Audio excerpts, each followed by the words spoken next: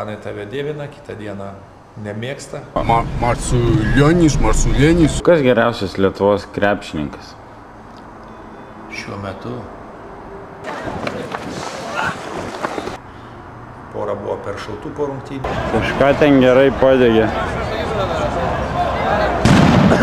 Aš niekada neįsivaizdavau, kad galėtų e, fanai niekinti nacionalinės rinktinės žaidėjų. Tas didelės abi mano. A, supratau. Sveiki atvykę į Olimpijakos tvirtovę. Peace and Friendship stadioną. Krepšinio arena. O ten yra futbolo stadionas. pana-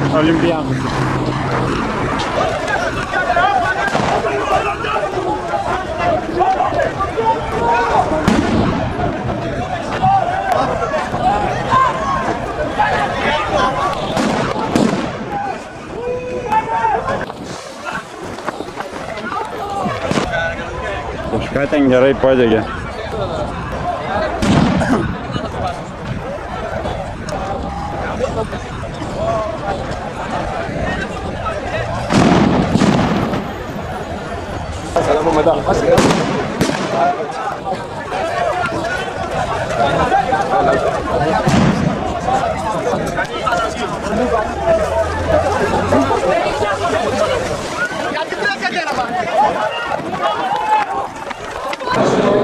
Šiaip netaip įėjau į areną, apie didelį ratą, kad nei pro fanus kariaujančius.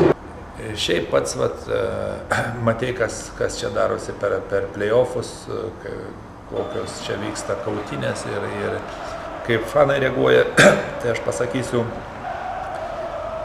tas, kas buvo prieš tris metus, kai mes žaidėm su Panatinaikusiu finalą pas juos salėje, to dar čia nebuvo. Čia, čia labai gražios rungtynės ir čia nieko nėra. Ten įmeta vieną kitą bombikę ar tenai kokį deklą, kokią vieną tašę su, sudegina. Vat reikėtų pažiūrėti, kas buvo tada, visas tas, tas rungtynės, tai suprastum, kas tai yra Graikijoje finalai. Ir vat, jeigu sugebi vadovauti per tokias rungtynės arba jeigu sugebi žaisti per tokias rungtynės, tai tada sugebėsi, aš galvoju, kad daug. Ja. Dar nebuvo, nes ten, ten pas mus du žaidėjai buvo išvežti į ligoninę, pora buvo per šaltų po rungtynių su tais e, oriniais, ten ir muštinės, vi- viskas buvo tenai ir, ir, ir, ir žodžiu, Tai čia kaip karas, kaip toks adrenalinas. jo, fanai tiek, e, tiek, e, kaip čia pasakyti, nemėgsta vieni kitų čia, arba tiek niekina vieni kitus, Panathinaiko ar Olimpiakos, o kad jie netgi, pavyzdžiui, aš niekada neįsivaizdavau, kad galėtų e, fanai niekinti nacionalinės rinktinės žaidėjus, arba ten jie, jiem nesvarbu, jie vis tiek prieš, jeigu tu esi iš olimpiakos, tai Panathinaiko fanai tave atakuoja, jeigu atvirkščiai, tai atvirkščiai, tai man labai, labai keista vis tiek, kai kurie žaidėjai žaidė už, už nacionalinę rinktinę, iškovojo gražias pergalės ir visą kitką, tie, tie dalykai čia negalioja. the, there are big fights between the, the people of Panathinaikos and Olympiacos. The players, they are not enemies. They, they just play basketball. Kaip sakau, Graikijoje labai komandos, ypač didžiosios komandos priklauso nuo fanų. Vieną dieną tie fanai tave dievina, kitą dieną nemėgsta. Man, man su, su, su lietuvišku krepšinio supratimu buvo gana taip mm, nelengva iš karto adaptuotis, nes, sakykime, sužaisdavom prastas rungtynės su kažkokia silpna komanda, laimėdavom vos ten taškeliu ar dviem, visi patenkinti sužaidė su tuo metinė sudėtim labai geras rungtynės prieš kažkokį stiprų varžovą, ar ten iš Europos, ar, ar, ar tą patį Panatinaikos, bet pralaimi truputį, visi nepatenkinti. Tai ta prasme, čia viskas į pergalę, ne į, ne į pačio žaidimo kokybę. Ir, ir man, pavyzdžiui, tas, vat, sakykime, nėra priimtina, kai aš matau, kai kai fanai neleidžia žaisti rungtynių ir bet kaip stengiasi išmušti iš ritmo varžovų, sakykime, nu, bet kurioje aikštelėje, ar vienoje, ar kitoje. Ir, kai tu nori matyti aukščiausio lygio krepšinį, o specialiai viskas padaryta, kad to nebūtų, tai žinot. Bet yra kaip yra. Čia nela, labai nelengva žaisti tokias rungtynės Olimpijakos Panatinaikos. Čia ne, ne, ne, nepaprastai sunku vadovauti tokiam rungtynėm reikia būti geležiniu nervu ir, ir visą kitką, jeigu tik kažkiek švelnesnio būdo charakterio esi pasmerktas.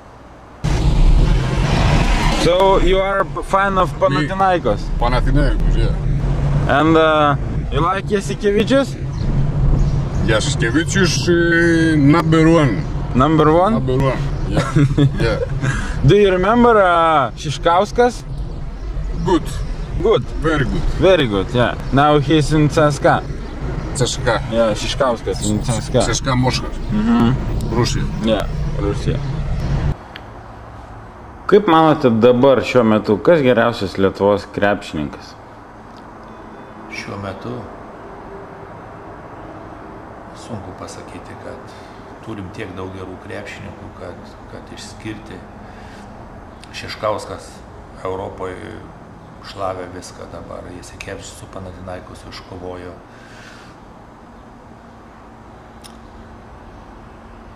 Lavrinovičiai, broliai, Kaukienas, tiek daug krepšininkų, Ilgauskas gerai žaidžia Amerikoje, man, man sun- sunku būtų kažkurį vieną šiek to labiau, kad labai skirtingos, skirtingos pozicijos. Matot, čia nelengva tėtika, minut, minutėm ar ten centimetrais nepamatuosi, kiek ta, tas nušoko ir kiek, kaip greitai nubėgo.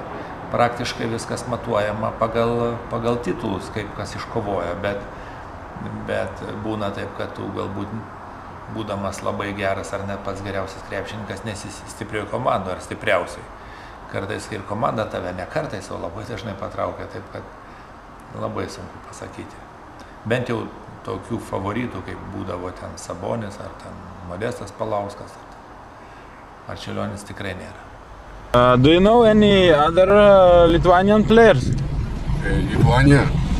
Uh, uh, other people of uh, basketball. Uh, uh, Sabonis and uh, Martsulionis. Oh. Ma- Martsulionis, Martsulienis, Yeah, yeah, yeah. Martsulionis. Very good. Very nice, Martsulionis. And uh, Sabonis uh, the best. Sabonis. Treneri, kas jums padeda sunkiais momentais? Nes jūs nešate didžiulę atsakomybę, jaučiate didžiulį spaudimą. Aš dabar jau blogai gyvenu, kaip nebejaučiu sunkių momentų, jau turbūt tiek, tiek, tiek pripratęs visas, visas tas mano organizmas prie, prie tokių stresinių situacijų, kad kai per daug ra- ramu, tai žiūrėk, širdis pradeda kažkur plakti per dažnai iš neveikimo ar dar kažkas. Kaip Graikija jums kaip šalis, palyginti su Kinija? Nu, grožis, apsidaryk aplinkui, matai jūrą, iš kitos pusės kalnai, šilta visą laiką, grinas oras, švarus vanduo, gyventi. Čia yra, jie gyvena tokį lėtą gyvenimą, per daug nepersidirbdami, nepervargdami, paprasta gyventi, kadangi dauguma kalba angliškai, bet kur tas.